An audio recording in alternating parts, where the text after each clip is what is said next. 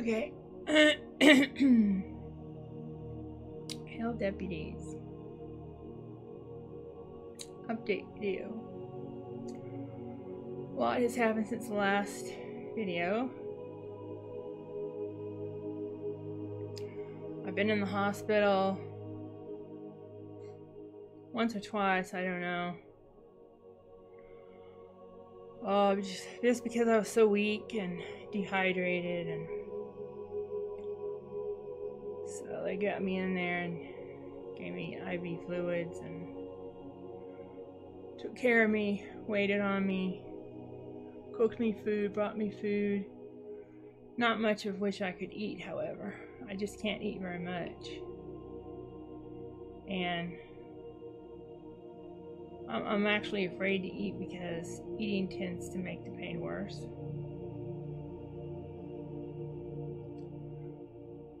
Right now, my ear is clogged up. I have no idea what I sound like. Uh,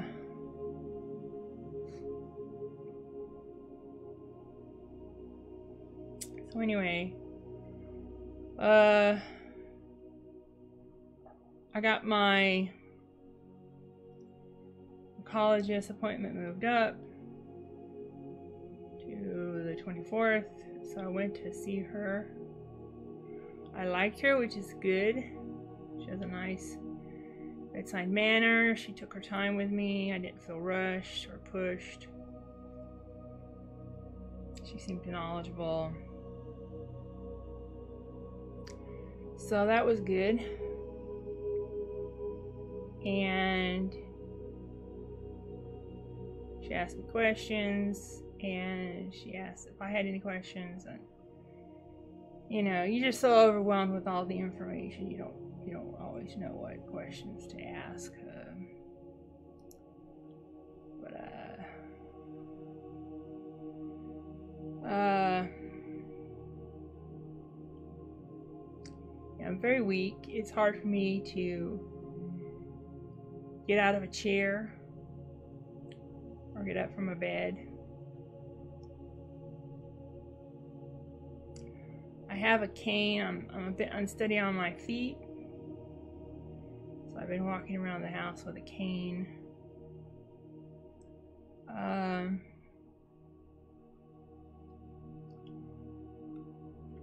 uh, one of my favoriteest fans bought me that bed. So I'm hoping to get that assembled today or tomorrow. Just been too busy to assemble it right now because of doctor's appointments and um, trying to get medicine. The uh, oncologist gave me a prescription for morphine in tablet form but the pharmacies wouldn't fill it, they didn't have it.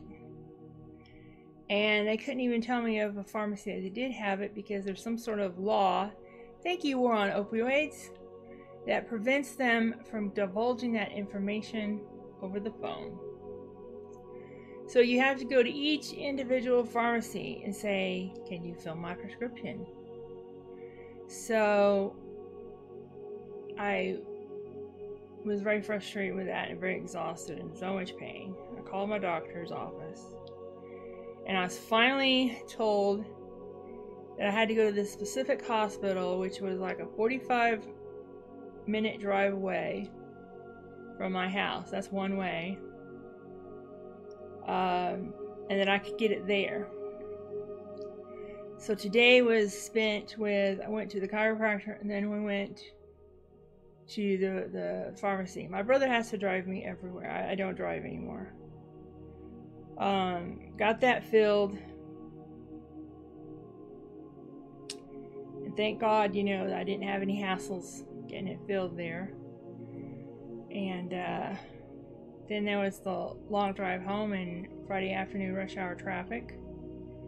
Um, so I was actually feeling a little hungry um, I had taken a, a anti-nausea pill earlier because I was kind of feeling like I should eat something. So we stopped at a nice Cuban restaurant.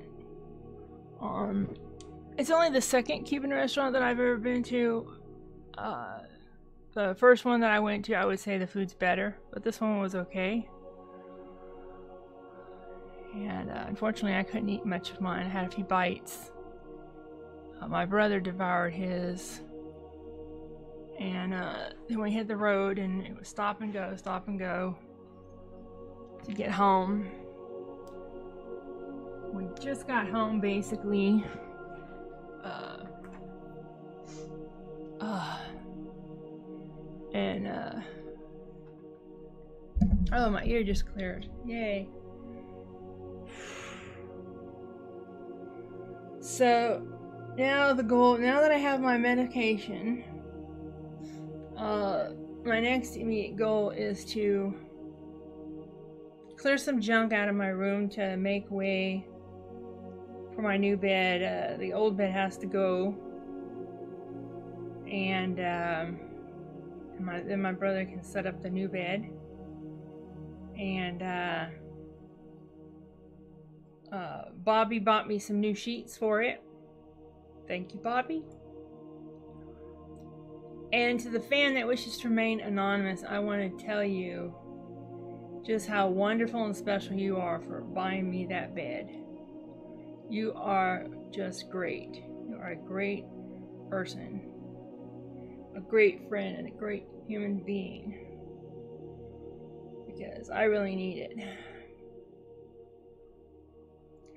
So the oncologist says I have a rare type of cancer that usually shows up in the lungs and not the esophagus. Uh, but mine's in the esophagus. And uh, so now I'm going to be going this week to get a PET scan. And she's going to start me um, as soon as possible on some um, chemo and radiation therapy. So, one of the things I meant to ask her that I failed to do is what would be the side effects of the chemo and radiation, but I guess I'm going to find out. It's not like I really have a choice to not do it if I want to get rid of this pain and pull through this.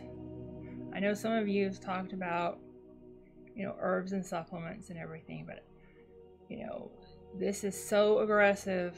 I just don't feel that that's the route to go. Um, I've always been a proponent of, of herbs and supplements and natural health. But when it comes to cancer, especially, you know, mine seems pretty aggressive um, because, you know, this all has happened pretty fast and my health is just deteriorating so fast that I've really got to nip this in the bud and destroy all the the uh, base eating zombies really quick before it's too late. So, um, that is uh, that's pretty much where it's at.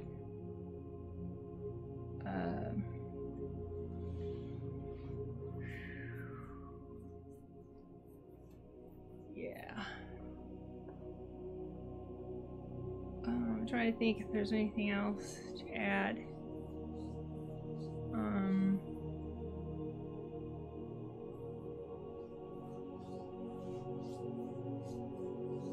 not really coming up with anything at the moment. I'm pretty tired from all the gallivanting of going to my chiropractor and then going to the pharmacy and a long ride home and